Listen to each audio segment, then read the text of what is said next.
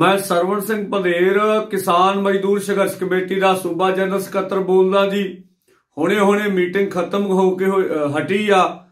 ਅਸੀਂ ਮੀਟਿੰਗ ਤੋਂ ਪਹਿਲਾਂ ਤੁਹਾਨੂੰ ਦੱਸ ਚੁੱਕੇ ਸੀ ਕਿ ਵੀ ਮੀਟਿੰਗ ਵਿੱਚ ਬਹੁਤਾ ਕੁਝ ਨਿਕਲ ਪਾਉਣ ਨੂੰ ਨਹੀਂ ਹੈਗਾ।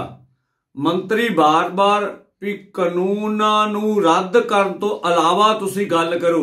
ਇਲਾਵਾ ਕਿਹੜੀ ਗੱਲ ਕਰਨੀ ਸੀ? ਕੋਈ ਗੱਲ ਤਾਂ ਹੈ ਨਹੀਂ ਸੀ। ਬਾਰ-ਬਾਰ ਇਹੀ ਗੱਲਾਂ ਹੁੰਦੀਆਂ ਰਹੀਆਂ, ਜਿਹਨੂੰ ਬਾਰ-ਬਾਰ ਕਿਸਾਨ ਆਗੂ ਜਿਹੜੇ ਆ ਉਹ ਰੱਦ ਕਰਦੇ ਰਹੇ ਵੀ ਅਸੀਂ ਤਿੰਨਾਂ ਕਾਨੂੰਨਾਂ ਦੀ ਰੱਦ ਕਰਨ ਵਾਲੀ ਗੱਲ ਤੋਂ ਹੋਰ ਕੋਈ ਗੱਲ ਨਹੀਂ ਕਰਨੀ।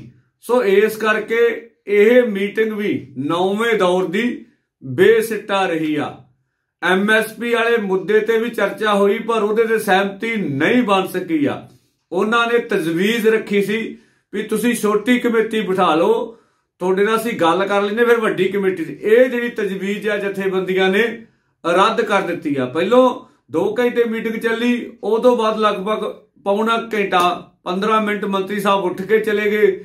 ਤੇ ਇਹ ਮੀਟਿੰਗ ਲਗਭਗ ਬੇਸਿੱਟਾ 19 ਤਰੀਕ ਦੀ ਫਿਰ ਜਿਹੜੀ ਮੀਟਿੰਗ ਆ, ਉਹ ਦੇ ਦਿੱਤੀ ਗਈ ਆ। ਸੋ ਇਹ ਜੋ ਪਹਿਲਾਂ ਸੋਚਿਆ ਸੀ, ਉਹੀ ਸੀ। ਉਹਦੇ ਮੁਤਾਬਕ ਉਹ ਮੀਟਿੰਗ ਦੇ ਵਿੱਚੋਂ ਬਹੁਤਾ ਕੁਝ ਨਿਕਲ ਪਾਉਣ ਵਾਲਾ ਨਹੀਂ ਸੀਗਾ। ਸਾਫ਼-ਸਾਫ਼ ਉਹਨਾਂ ਦਾ ਜਵਾਬ ਆ ਵੀ ਅਸੀਂ ਕਾਨੂੰਨ ਵਾਪਸ ਨਹੀਂ ਲੈਣੇ ਹੈਗੇ। ਉਹ ਆਪਣੀਆਂ ਦਲੀਲਾਂ ਦਿੰਦੇ ਆ ਵੀ ਦੇਸ਼ ਦਾ ਵੱਡਾ ਹਿੱਸਾ ਸਾਡੇ ਨਾਲ ਖੜਾ ਵਾ। ਜੀ ਇਸ ਕਰਕੇ ਕਾਨੂੰਨ ਵਾਪਸ ਨਹੀਂ ਲਏ ਜਾ ਸਕਦੇ। ਸੋ ਬਾਕੀ ਚਰਚਾ ਜਿਹੜੀ ਆ ਕਹਿ ਲਓ ਵੀ ਇੰਨਾ ਸਮਾਂ ਦੋ ਤਿੰਨ ਘੰਟੇ ਫਿਰ ਅਹ, ਖਰਾਬ ਕਰਨ ਵਾਲੀ ਗੱਲ ਆ ਉਹਦੇ ਚੋਂ ਨਿਕਲਣਾ ਨਹੀਂ ਹੈਗਾ। ਜਿਵੇਂ ਇਹ ਗੱਲਾਂ ਕੋਈ ਆਉਂਦੀਆਂ ਵੀ ਵਧੀਆ ਜਸਟਰ ਵਿਖਾਲਿਆ ਗਿਆ ਵਾ ਇੱਕ ਮੰਤਰੀ ਵੱਲੋਂ।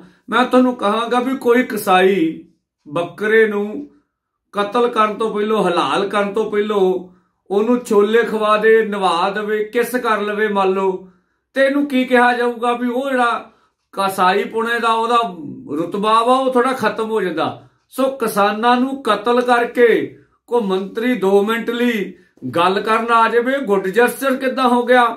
ਸੋ ਇਹ ਕੋਈ ਗੁੱਡ ਜਸਟਰ ਨਹੀਂ ਹੈਗਾ। ਸੋ ਕੰਟੈਕਟ ਉਹਨਾਂ ਦਾ ਉਹੀ ਆ, ਭਾਵੇਂ ਮਿੱਠੀ ਜ਼ਬਾਨ ਨਾਲ ਕਹਿਣ ਵੀ ਕਾਨੂੰਨ ਵਾਪਸ ਨਹੀਂ ਲੈ ਸਕਦੇ। ਸੋ ਇਸ ਕਰਕੇ ਹੁਣ 26 ਜਨਵਰੀ ਦੇ ਜਿਹੜਾ ਪਰੇਡ ਆਪਾਂ ਕਰਨੀ ਆ ਉਹਦੀ ਮਹੱਤਵ ਹੋਰ ਵੱਧਦਾ ਵਾ। ਜਿਹੜੇ ਸਾਡਾ 18 ਨੂੰ 23 ਨੂੰ ਪ੍ਰੋਗਰਾਮ ਆ, ਸੋ ਪੰਜਾਬ ਦੇ ਲੋਕਾਂ ਨੂੰ ਬੇਨਤੀ ਆ ਵੀ ਜਿਵੇਂ ਸਰਕਾਰ 23 ਦੇ- 26 ਜਨਵਰੀ ਦੇ ਪ੍ਰੋਗਰਾਮ ਨੂੰ ਟਾਰਗੇਟ ਕਰ ਰਹੀ ਆ, ਜਿਵੇਂ ਉਹਨੂੰ ਬਦਨਾਮ ਕੀਤਾ ਜਾ ਰਿਹਾ ਵਾ, ਜਿਵੇਂ ਟਾਈਟੈਨਿਕ ਜਹਾਜ਼ ਸੀ ਕਿ ਨਾ, ਉਹਦੇ ਵਿੱਚ ਇੱਕੋ ਸ਼ੇਪ ਸ਼ੇਕ ਜਿਹੜਾ ਸੀ ਉਹ ਡੁੱਬ ਬੈਠਾ ਸੀ। ਜਿਵੇਂ ਸ਼ੇਕ ਕਰਨ ਦਾ ਯਤਨ ਕੀਤਾ ਜਾ ਰਿਹਾ ਵਾ, ਬਦਨਾਮ, ਕਿਉਂਕਿ ਇਹ ਅੰਦੋਲਨ ਸਫਲ ਅੰਦੋਲਨ ਤਾਂ ਹੀ ਆ ਕਿਉਂਕਿ ਇਹ ਜਨ ਅੰਦੋਲਨ ਆ। ਇਹਦੇ 'ਚ ਲੋਕਾਂ ਦੀ ਅਹ, ਭਾਗੇਦਾਰੀ ਬਹੁਤ ਵੱਡੇ ਪੱਧਰ ਤੇ ਆ।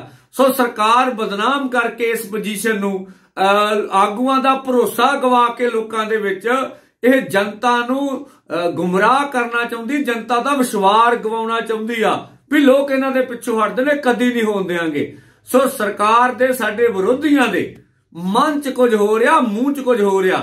ਉਹ ਕਿਵੇਂ 26 ਵਾਲੇ ਪ੍ਰੋਗਰਾਮ ਨੂੰ ਟਾਰਗੇਟ ਕਰ ਰਹੇ ਨੇ? ਸੋ ਇਸ ਕਰਕੇ ਇਹ ਸਾਰਾ ਕੁਝ ਨਹੀਂ ਹੋਣ ਦੇਾਂਗੇ ਨਾ ਅੰਦੋਲਨ ਦੀ ਬਦਨਾਮੀ ਹੋਣ ਦੇਾਂਗੇ ਇਸ ਕਰਕੇ, ਅੰਦੋਲਨ ਨੂੰ ਇਸ ਕਰਕੇ ਸਾਰੇ ਪੰਜਾਬ ਤੇ ਦੇਸ਼ ਦੇ ਲੋਕਾਂ ਨੂੰ ਬੇਨਤੀ ਆ ਵੀ ਜਿੱਥੇ ਲੱਖਾਂ ਟਰੈਕਟਰ, ਟਰਾਲੀਆਂ ਲੈ ਕੇ ਜਾਣਾ, ਉੱਥੇ ਕਰੋੜਾਂ ਲੋਕਾਂ ਦਾ ਟਾਰਗੇਟ ਬਣਾਈਏ।